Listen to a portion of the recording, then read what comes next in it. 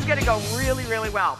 Heads up, if you're not very athletic, these are not taped down, so you could go swoosh right across the floor. Okay. Pick a number uh, and take a shot. All right, I'll start with one. If you make the shot, you do not have to answer the question. It's more like a truth or dare kind of a thing. Okay. You don't have to answer the question or do uh, what that number is. So pick a number and take your shot. Okay, I'll start with one. Let's just go around the All right. clock here.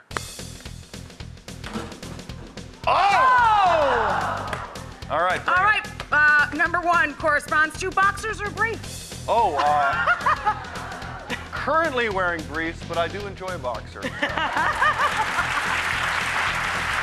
Okay. Where's number two? Where are you gonna go to? Number This two? is much higher stakes because this is truly embarrassing. Yeah, if you can't make that, that is kind of sad.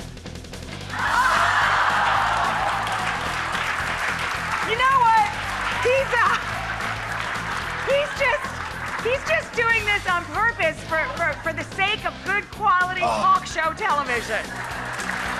Um, okay, the last this is this is a tough one. Last lie you told. Uh, I think I told uh, my daughter that she couldn't bring her giant panda to the breakfast because he had already eaten too much bamboo. That's a good one. All right, number three. Number three. Number Come on. three. Come on! Uh, Or- oh, take a selfie with an audience member. Oh, sweet. Anyone you like.